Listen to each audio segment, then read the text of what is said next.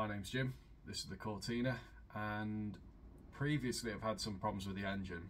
Now I've decided to go EFI on it and I thought I'd talk about converting a classic engine to EFI, what, what's required to make it run.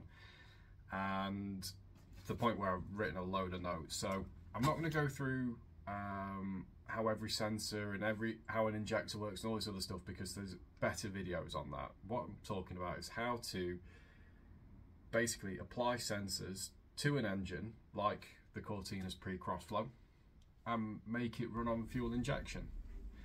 Um, so the reason I'm converting it to EFI is because uh, there's potential for more power uh, and torque throughout the rev range, provided obviously it's, it's set up right. Um, so there is going to be some work in that. Um, and the other benefit is that I can keep the original engine, which for a lot of people is very important. Um, good for historic status, and everything that you're applying to the engine can be taken off. So if you needed to go back to carbs and um, points or whatever, you can just go back to it. it. What I'm trying to do is a, essentially a bolt-on mod. It's no different to putting twin 40s on or um, an electronic distributor and all that other good stuff. So let's get into it. So carb versus EFI. Now, in its basic form, this carburettor, 2836 DCD, you open the throttle, air goes through here, through Venturi, you've got um, emulsion tubes and jets and all that good stuff.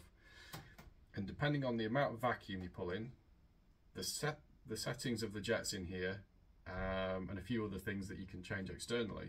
Fuel is drawn through and that goes to the four cylinders depending on which one's pulling vacuum at that moment. Um, incidentally, you can get a throttle body that will fit this manifold. It's pretty cool, don't get me wrong, um, but I'm not doing that. What I have opted for are these, which are ITBs off a CBR uh, 600 motorbike and it works in a similar way. So you'll have sensors that are looking at the engine speed, the engine temp, uh, the air temp, and the amount of vacuum, which comes off here. So when you open the throttle, the amount of throttles recorded at the same time as all those, and depending on all those settings, and a certain amount of fuel will be injected at a certain time and into uh, each cylinder as it's required again. So very simplified view. Now let's go into uh, a little bit more about how we're going to do that. So what sensors do you need? So in its, again, simplest form, which is what I'm looking for, I'm going to go for something called an alpha N setup. So this uses a crank sensor, engine coolant, air temp, throttle position, manifold absolute pressure, and a lambda sensor.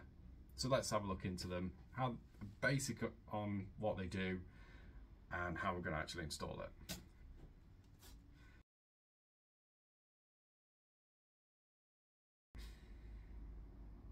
So let's start with the crank sensor. So this is a crank sensor, it's from a Zetec, and this is a trigger wheel. Uh, now I've got this with one of the uh, crank pulleys that I bought years ago, so I don't know how well it's fitted, but we will get into that. Now you'll see we've got 36 teeth all the way around here, minus one. And this one is the important one because this tells the engine when you get uh, a gap here in, in the signal, that tells the, uh, the ECU that the engine is at 90 degrees before top dead center on cylinder number, one.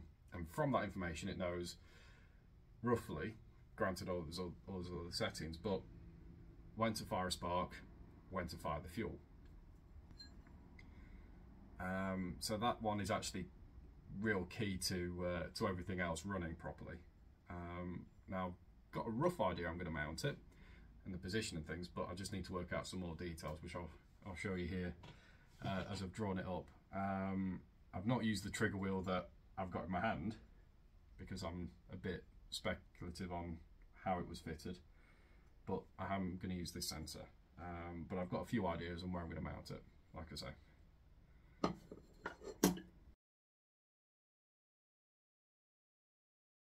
Next one is the engine coolant temp. So Now that's the, the sender that I've got for the gauge currently. And this works in the same way. So instead of this sending a signal to a gauge which moves a needle, um, this will send um, resistance voltage difference to the ECU and tell it what temperature the engine is. And I'm going to go and use this fitting here because I'll be using a different inlet manifold.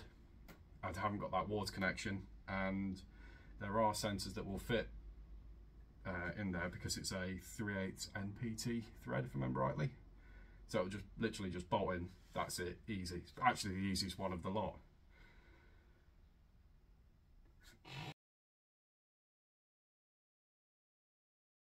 Now speaking of temperature, also need to know air temperature.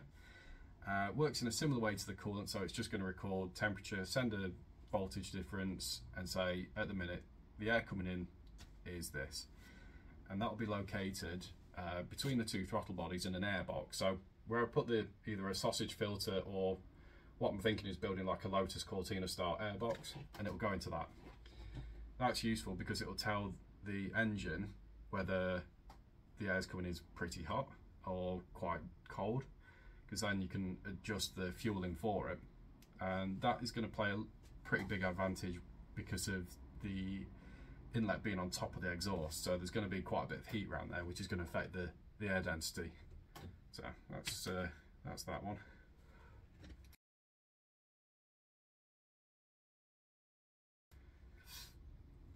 Throttle position does exactly what it says on the tin.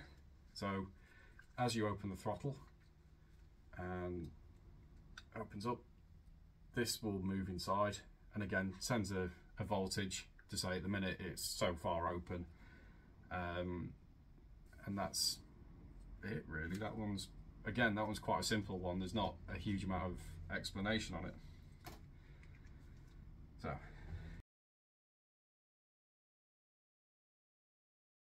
so next we've got map sensor or manifold absolute pressure. Uh, it's a bit like the vacuum advance on an old carburetor. So as you get vacuum pulled through, that would um, affect the timing. So it would pull the diaphragm on the distributor and correct the timing. Similar sort of thing.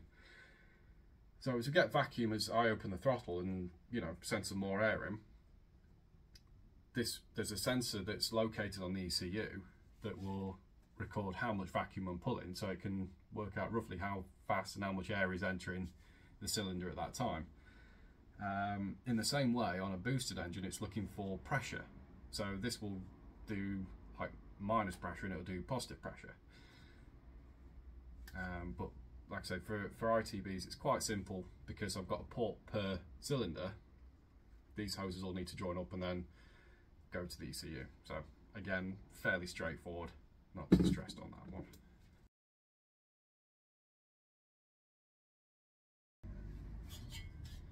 So the last one is lambda sensor, and that goes in the exhaust after all the cylinders have joined together. So on a 421, like on the Cortina's engine, like this, it goes in here.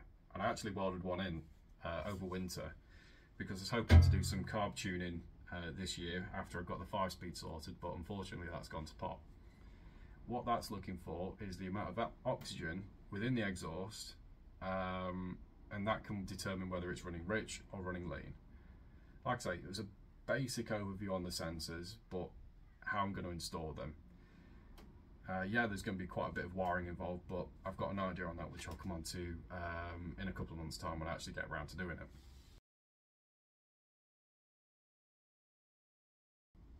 First one, ignition. Now, the Speeduino, which is the ECU I'm going to use, um, can run one coil per cylinder or wasted spark. Now, at the minute, I'm looking at wasted spark because it's an easier setup. So you use a, si single coil, which will fire one and four and two and three at the same time when they need to be fired.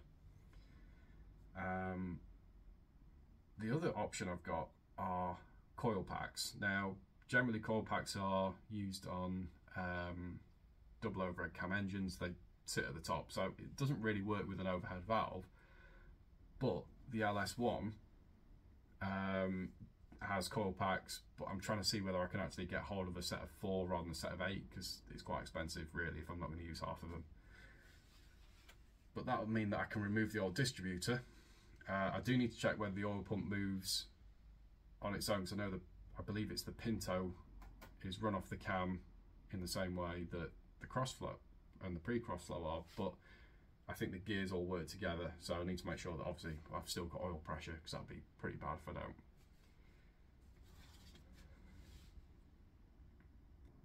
The next thing is fueling. So this is one of the injectors off the uh, the bike ITBs. Um, now with Alpha N, these are batch fired, so they all fire. So every time you hit uh, the timing mark on number one, all four of these will fire. And that's okay because the engine's running so fast that it's not going to like be wasted fuel, whatever else. So kind of like the carburetor. So as when this is open, it doesn't say that the fuel's got to go to number one or number four or whatever else. It takes it as the vacuum needs it, and it's kind of the same. Go sequential um, injection, where it goes one, two, four, three. But I'll need to put a, uh, a cam position sensor in. Now, on an overhead valve engine like mine, that's going to be a bit tricky because the cam drive is in oil and I just want to make sure that I can put a sensor in there and not have it leak. So at the minute, I'm leaving it alpha N, batch fire it, so when we get to number one, all four fire, simplest way. Now the next thing with the fueling, which is going to have to change, is the actual fuel delivery. So at the minute, I've got a small fuel pump uh, right next to my tank that pumps through to the carburetor at 4 psi. Now when it gets to the carb, it sits in this bowl here and then it just gets used as required, by which point more fuel is being delivered. And uh, an injection system slightly different. So what you'll have is a fuel rail. So all these injectors are connected by a single rail. Fuel's pumped through the same way, granted at like 20, 30 psi at least. Um, but it doesn't stay in the fuel rail. It'll work its way back round to the fuel tank in a constant loop. So what I need is firstly a return line, um, but I also need something in the fuel tank that will hold a small amount of fuel so that the fuel pump's always got fuel ready. So if you're cornering heavily, you're not going to lose fuel pressure, whereas on a carb engine, because it's got a little bowl in there, it's not really going to lose it. So that's something, I have drawn up a fuel tank, uh, I haven't made it, but yeah, that's the plan. And then the last major thing is this.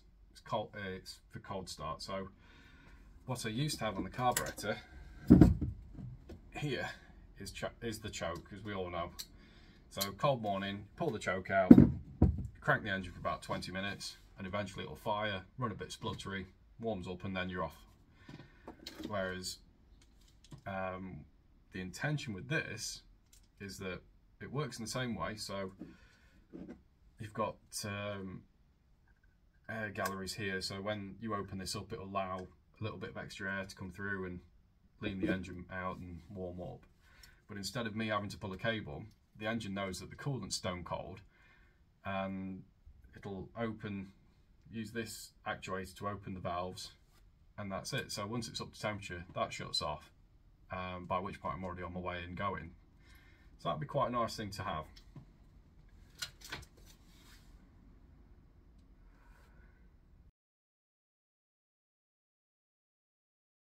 A few, so there are a few optional extras I can use with this as well.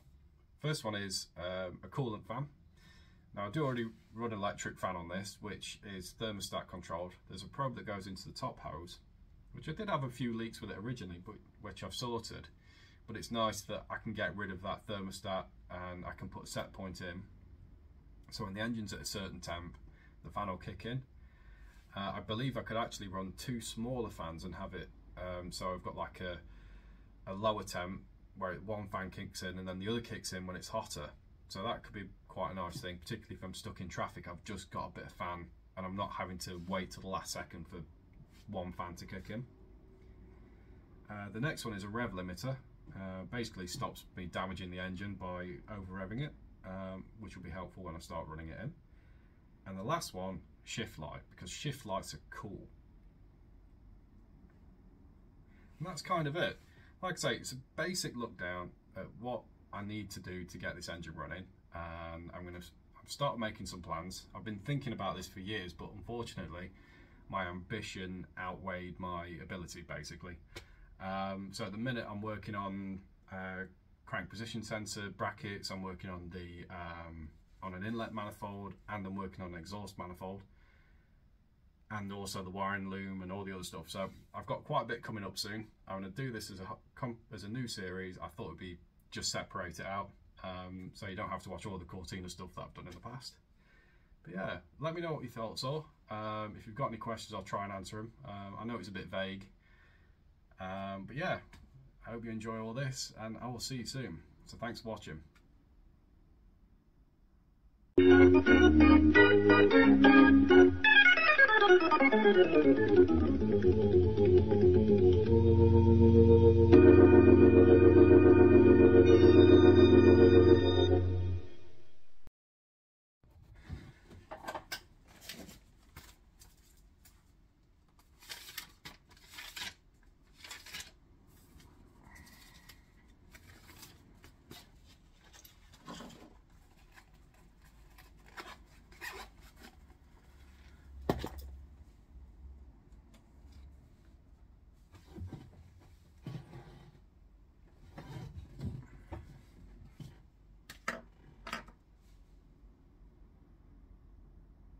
Bloody hell, it's recording.